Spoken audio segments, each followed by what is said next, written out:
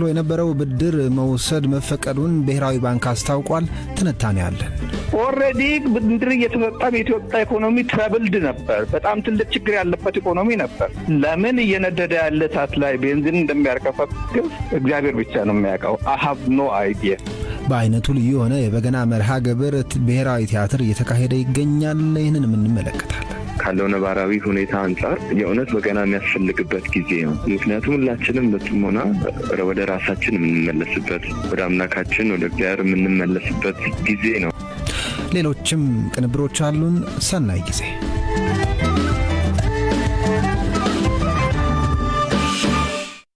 ሱዳን በኢትዮጵያ ሰራዊት ጥቃት እንደተፈጸመባትና ወታደሮች እንደተገደሉባት ስታስታውቅ ኢትዮጵያ ግን ክሱን አስተባብላለች።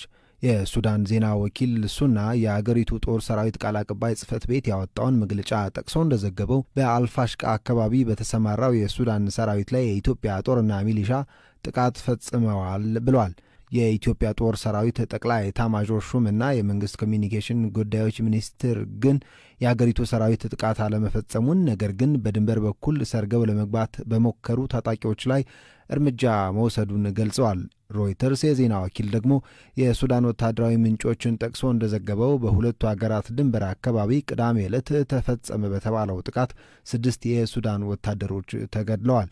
የሱዳን ጦር ኃይሎች ባወጣው መግለጫ ላይም ቁጥራቸው ያልተጠቀሰ ወታደሮች መገደላቸውን ጠቅሶ በኢትዮጵያ ወገንም ጉዳት መድረሱንና ጥቃቱን መክተው መመለሳቸውን ገልጿል። የኢትዮጵያ ጦር ሰራዊት ጠቅላይ ኤታማዦር ሹም ጀኔራል ብርሃኑ ጁላ ከሱዳን በኩል የቀረበውን ክስ አጣጥለው አገራቸው ጥቃት አለመፈጸሟን ገልጸዋል። ጄኔራሉ ለኢትዮጵያ ሳተላይት ቴሌቪዥን ኢሳት እንደተናገሩት ኢትዮጵያ ሱዳንን አላጠቃችም፣ ጥቃት የምትፈጽምበት ምክንያትም የለም ሲሉ ሱዳን ተፈጸመብኝ ያለችውን ጥቃት ውድቅ አድርገውታል። በሁለቱ ሀገራት መካከል የድንበር ውዝግብ እንዳለ ያስታወሱት ኢታማዦር ሹሙ ይህም በሕጋዊ መንገድ መፈታት እንዳለበት በሁለቱ ሀገራት መካከል የድንበር ውዝግብ እንዳለ ያስታወሱት ኢታማዦር ሹሙ ይህም በሕጋዊ መንገድ መፈታት እንዳለበት ኢትዮጵያ ጽኑ አቋም እንዳላት አመልክተው መሬታችን በሰላም በሕግና በድርድር ይመለሳል ብለን ስለምናስብ በዚህ ወቅት ሱዳንን የምናጠቃበት ሁኔታ ላይ አይደለንም ብለዋል። የመንግስት ኮሚኒኬሽን አገልግሎት ሚኒስትር ለገሰ ቱሉ በበኩላቸው ለብሔራዊ ቴሌቪዥን ከሱዳን ድንበር በኩል ወደ ኢትዮጵያ ሰርገው ለመግባት የሞከሩ አሸባሪዎችን የመከላከያ ሰራዊቱና የአካባቢው ሚሊሻ እርምጃ ወስዶ መደምሰሳቸውን ገልጸዋል። ከዚህ ውጪ በሱዳን ወታደሮች ላይ የኢትዮጵያ ሰራዊት ጥቃት ፈጽመዋል በሚል የቀረበው ክስ መሰረተ ቢስ ነው ሲሉ ውድቅ አድርገውታል።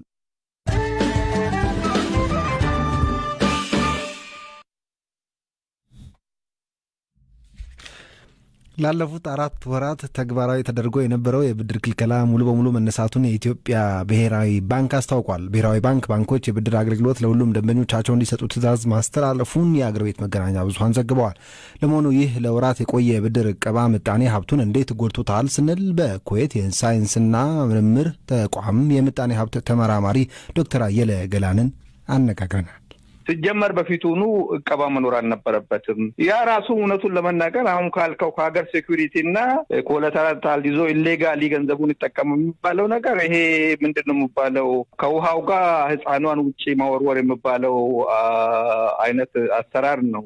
የሆነ ሰው ገና ለገና ወንጀለኛ አለና ይህን ገንዘብ የሆነ ሰው ይጠቀማል እና ስለዚህ ጭራሹኑ ገንዘብ ኢኮኖሚ ውስጥ አይግባ እና ከምንጩ እናድርቀው እንደዚህ አይነት reasoning እንዴት እንደምሰጥም ምን አይነት logic ም እንደሆነ illegally ገንዘቡ የምጠቀሙ ሰዎችን ለመጉዳት ተብሎ መቶ አስር ሚሊዮን የኢትዮጵያ ሕዝብ አብሮ ይጎዳ የሚል አይነት ፍርድ ማስተላለፍ ምን ምን ይባላል? እንዴት ስማ understand ማድረግ ይቻላል? ምን አይነት logic ነው? ቁጥጥሩን ማጥበቅና ሌሎች mechanism ኦችን መፍጠር ሲቻል ጠቅላላ ኢኮኖሚያዊ ጉዳት የሚያመጣ እርምጃ ነው የተወሰደው ነው የሚሉኝ። absolutely አንድ ሰው እኮ ለማበደር ሲመጣ there are all kinds of checks መደረግ ያንን ጠበቅ ማድረግ ይቻላል። there should be some other way credit መስጠትም እንደ instrument መጠቀም it's wrong way to go የሚል ግምት ነው ያለኝ። credit አይነኬ መሆን አለበት። credit የሆነ ሰው የደም ሰውነቱ ውስጥ የሚዘዋወረውን ደም ለጊዜው እናቁምና እስቲ ጤንነቱን እንየው ሰው የሚባል ነገር ይገለዋል። ብለዋል ያነሱ አይደለም እንዴ? ከደም ዝውውር ጋር ጨዋታ ጥሩ አይደለም፣ ጤናማ አይደለም። that same ያንኑ ነው የምመስለው። እሺ፣ አቶ አየለ በዘርፍ በዘርፍስ ማየት ከቻልን ምናልባት ለምሳሌ የ construction ኢንዱስትሪው በጣም ብዙ ሰው ይቀጥራል የሚባል ነው። ባንኮችም ቢሆኑ ትልቁ ገበያቸው ከማበደር ይመስለኛል እና ይሄ ሲነሳ ኢኮኖሚው ላይ የሚጫወተውን ሚና መገመት እንችላለን ወይ? construction ም ይሆን agriculture ኢንዱስትሪም ይሁን service ከባንክ በሚገኝና የራሱ ላይ ባንክ ውስጥ ካለው ጋር እንትን አዋህዶ ነው ቢዝነሶች የሚንቀሳቀሱት እና እንዲያውም ምንም ነገር አይለይም ከምንም። ወደ construction ን እንደ example ለመውሰድ እቆጠባለሁ። ምክንያቱም ትልቁ የኢትዮጵያ ኢኮኖሚ በሽታ ራሱ construction ን እንደ economy engine አድርጎ መውሰድ። construction it's a means towards an end ነው። በ construction sector ተሰርቶ ተመርቶ ከዛ ወጥቶ shelf ላይ የሚቀመጥና ሱፐር ማርኬት ገብቶ የሚሸጥ ነገር የለም። የኢትዮጵያ ኢኮኖሚ ኑሮ ውድነት ጣጣውና ትልቁ ትልቁ የኢትዮጵያ problem ም ለሰላሳ አመት construction ስትሰራ ነው የቆየው። ብዙ ሰው ይቀጥራል፣ yes ለብዙ ሰው ደሞዝ ይከፍላል፣ yes ግን ገንዘብ ተበደረ፣ ብድር ተሰጠ። የተሰጠው ብድር ሄዶ construction ተሰራ፣ ሲሚንቶ ምናምን ነገር ተቦካና መሬት ላይ ተቀመጠ። ያ ሲሚንቶ አይበላም። ያ ሲሚንቶ ሱቁ ገብቶ አይሸጥም።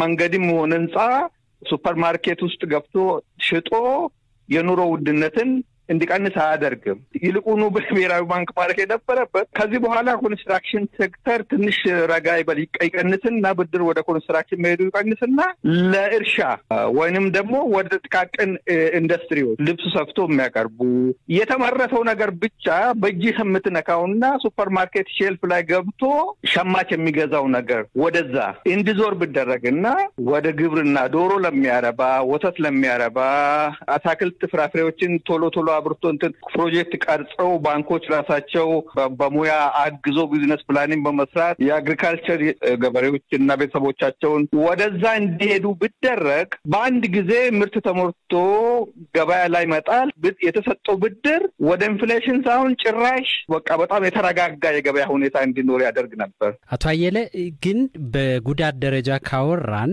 ባንኮችን ጨምሮ ሁሉም ዘርፍ መነካቱ አይቀርም አደለ? ይነስም ይብዛ እና በጥቅሉ አገሪቱን በዚህ እቀባው ውስጥ ለወራት አንድ አገር ስትቆይ ምን ያህል ጉዳት አድርሷል? በእርግጥ ጥናት የሚፈልግ ነው፣ quantify ማድረግ ከባድ ነው። ግን እንደው እንደ ባለሙያ አንድ አገር ብድር ባንኮች እንዳይሰጡ ታግደው ሲቆዩ በዛ አገር ላይ የደረሰው ጉዳት እንዴት ሊገለጽ ይችላል? ጠቅላላ ጉዳት ነው ብለን ብንለው ካለበት ወደኋላ እንዲያሽቆለቁል ነው የተደረገው ለነዛ ወራት። ስለዚህ ይሄ የትየለሌ የምንለው አይነት በምንም አይነት መለኪያ የማንገልጸው አጠቃላይ ውድቀት ነው። እኔ እውነቱን ለመናገር እንደ አንድ ኢኮኖሚስት already ብድር እየተሰጠን የኢትዮጵያ ኢኮኖሚ troubled ነበር። በጣም ትልቅ ችግር ያለበት ኢኮኖሚ ነበር። ለምን እየነደደ ያለ እሳት ላይ ቤንዚን እንደሚያርከፈክፍ እግዚአብሔር ብቻ ነው የሚያውቀው። I have no idea፣ አይገባኝም።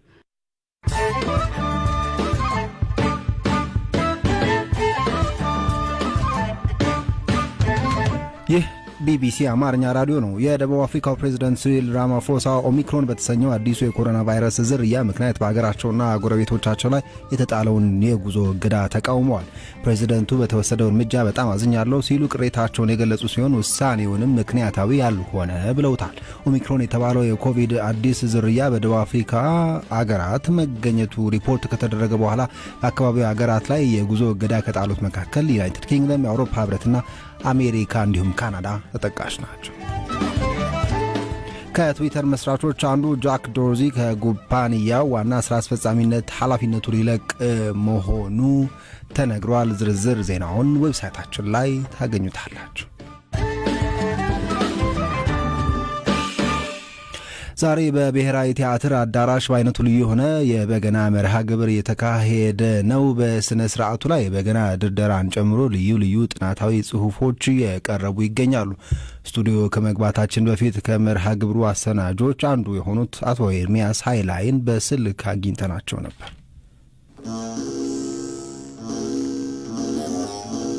የመርሃ ግብራችን ስም ዝክረ በገና ይባላል። በኢትዮጵያ በዚህ ያክል ደረጃ በበገና ምሽት የመጀመሪያው ነው።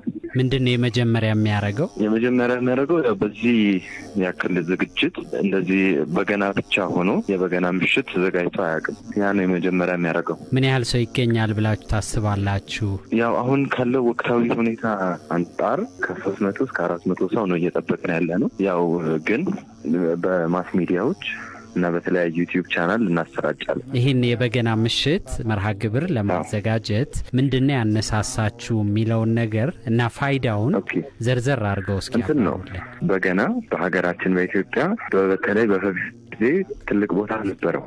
ይህም ማለት ከሃይማኖታዊ ትውፊቱ ባለፈ በጣም ሀገራዊ መሳሪያ ሆኖ ሲያገለግል ነበር። ይህም ማለት በፊት በገና ይገኝ የነበረው በነገስታቱ ቤት እና በተለያዩ ታላላቅ ፕሮግራሞች ላይ ነበረ። ስለዚህ ያንን ነገር ነው አሁን መልሰን ለማምጣት እየሞከርን ያለ ነው። አንድ ስም ልጥቀስላችሁ። ደምሴ ደስታ የሚባሉ የበገና ደርዳሪ ነበሩ። ደምሴ ደስታ በሀገር ፍቅር ቲያትር ቤት እንደ ሌላ ሙያ የበገና ደርዳሪ ተብለው ነበር የተቀጠሩት። ሌላ ደግሞ የኢትዮጵያ መዝገበ ቃላት ላይ ከሙያ የሚቆጠሩ ነገሮች ተብለው ከተጻፉት ውስጥ ፈረስ ግልቢያ፣ ይህ በምነግራችሁ በአፄ ኃይለሥላሴ ጊዜ ነው። ፈረስ ግልቢያ ከመሳሰሉት አንደኛው በገና ድርደራ ነበረ። ብቻ አይደለም። አፄ ኃይለሥላሴ ንግስናቸውን ሲቀበሉ አብረው የበገና ደርዳሪዎች ነበሩ። በአድዋ ጦርነት ጊዜ አብሮ በገና ዘምቶ ነበረ። ወታደሮቹን ያበረታቱ ያነቃቁ ነበረ እነዚህ የበገና ደርዳሪዎች። ስለዚህ በነገስታቱ ቤት ሁሉ አይጠፋም ይሄ ድርደራ። እሱም ብቻ ሳይሆን ያው በአሁኑም ጊዜ እጅግ በጣም ብዙ ሰው ይሄንን የበገናውን ነገር ይፈልገዋል። ማለት የሚነሳሱት ከበገናው ዝማሬ ጋር የሚነሱት ራሱ ግጥሞች የሚነሱት ሀሳቦች ራሱ ይህንን ነገር ገላጭ ነው። ምክንያቱም በመንፈሳዊነቱ ልክ የሀገራዊ ጉዳዮችም ይነሱበታል። ስለዚህ ያ ነው በቃ አሁን ካለው ነባራዊ ሁኔታ አንጻር የእውነት በገና የሚያስፈልግበት ጊዜ ነው። ሁላችንም በጥሞና? ምክንያቱም ሁላችንም በጥሞና ወደ ራሳችን የምንመለስበት ወደ አምላካችን ወደ እግዚአብሔር የምንመለስበት ጊዜ ነው እና ያንን ደግሞ በገና የማድረግ አቅም አለው። ስለዚህ ነው ይህንን ፕሮግራም ማዘጋጀት የፈለግ ነው። ሰው ወደ ራሱ እንዲመለስ የጥሞና ጊዜ እንዲኖረው የሚያደርግ ትልቅ መሳሪያ ነው እና ያንን ነገር በእንደዚህ አይነት ትልልቅ መርሃ ግብሮች በማዘጋጀት ሁሉም እንዲደርሰው ሁሉም experience እንዲያደርገው እየሞከርን ያለ ነው እና ያ ነው አላማችን። ሰላም ልልሽ ይገባኛል ጧት ማታ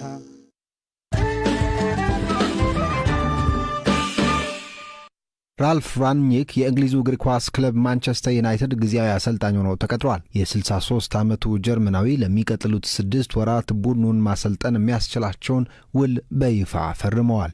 ጊዜያዊ አሰልጣኝነታቸውን ሲጨርሱ ለሁለት ዓመት በአማካሪነት የሚቆዩት ራልፍ ሐሙስ ምሽት ዩናይትድ ከአርሰናል ለሚያደርገው ፍልሚያ ሊደርሱ ይችላሉ ተብሏል። ዩናይትድ ከራልፍ ጋር ከስምምነት የደረሰው ባለፈው ሳምንት ቢሆንም በስፖርትና እድገት ኃላፊነት ከሚሰሩበት ሎኮሞቲቭ ሞስኮ ጋር መስማማት ይቀረው ነበር። የዩናይትድ ባለቤቶች ለሶስት ዓመታት ያክል ቡድኑን አሰልጥኖ ውጤት ማምጣት ካልቻለው ኦሌ ጉናር ሶልሻየር ጋር ከተለያዩ በኋላ ነው ራልፍን ለመቅጠር የወሰኑት። ራኚክ ከሻልከ ጋር በፈረንጆቹ 2011 ዓ ም የጀርመን ዋንጫ ያነሱ ሲሆን ከሁለት ዓመት በፊት ደግሞ አርቢ ላይፕዚግን ለፍጻሜ አድርሰዋል። ማንቸስተር ዩናይትድ ትላንት ከቼልሲ ጋር ያደረገውን ጨዋታ በአንድ አቻ ከጨረሰ በኋላ በፕሪምየር ሊጉ ደረጃ ሰንጠረዥ ስምንተኛ ላይ ተቀምጧል። ራኚክ ስቱትጋርት፣ ሃኖቨር፣ ሆፈንሃይም፣ ሻልከና ላይፕዚግን አሰልጥነዋል። ለዚህ ነው በጀርመን እግር ኳስ ስማቸው ተደጋግሞ የሚነሳው። ራኚክ ከአሁኑ የቼልሲ አሰልጣኝ ቱኽል ጋር አብረው የሰሩ ሲሆን የሊቨርፑሉ አሰልጣኝ ዩርገን ክሎፕም የእሳቸው የጨዋታ ፍልስፍና ውጤት ናቸው ይባላል። በሳተላይት በፌስቡክና በአጭር ሞገድ ስንደመጥ ቆየን። ተጨማሪ መረጃዎች ቢቢሲ Amharic dot com የተሰኘው ድረገጻችን ላይ ያገኛሉ።